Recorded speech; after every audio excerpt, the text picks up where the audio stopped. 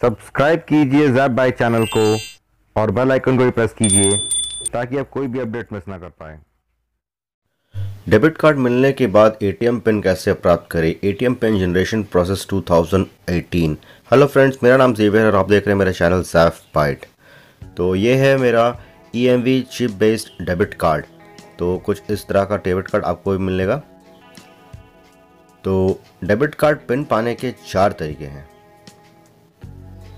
अपने state bank ATM चाहे अपने नज़दीकी स्टेट बैंक के एटीएम जाकर नए कार्ड को कार्ड के स्लॉट में डालें। भाषा चुनें। स्क्रीन पर नीचे दाहिनी तरफ़ पिन जनरेशन को चुनें। आपके 11 अंकों का खाता संख्या दर्ज करें और उसके बाद 10 अंकों का रजिस्टर्ड मोबाइल नंबर दर्ज करें।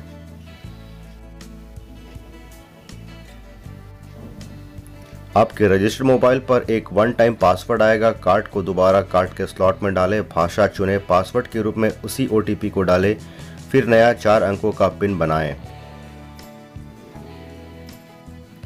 ओटीपी मिलने के दो दिन के अंदर ही आपको नया पिन बना लेना है। दूसरा तरीका है एसएमएस के ज़रिए।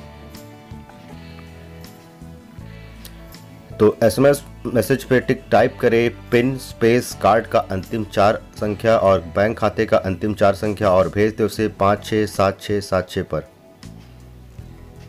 आपके रजिस्टर्ड मोबाइल नंबर पर ओ आएगा, फिर स्टेट बैंक ऑफ़ इंडिया के नज़दीकी एटीएम में जाकर एक नया पिन बनाएँ। तीसरा तरीका है नेट बैंकिंग के ज़रिए।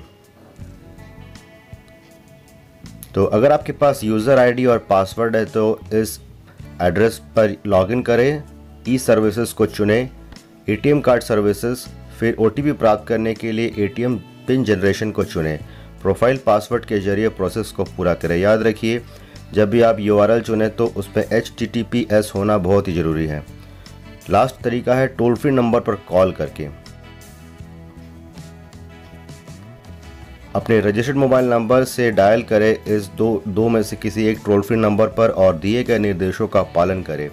फिर ओटीपी प्राप्त होने के बाद एसबीआई के एटीएम से पिन प्राप्त कर लें।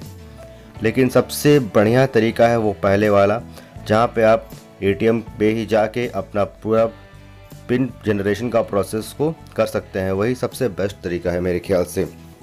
तो ये वीडियो आपको कैसी लगी, ज़रूर बताइए कमेंट मेरी पिछली वीडियो इसी से रिलेटेड है, उसको देखने के लिए आप आई बटन पर क्लिक कर सकते हैं और इस वीडियो को देखने के लिए बहुत बहुत धन्यवाद। आशा करता हूँ ये वीडियो आपको अच्छी लगी होगी।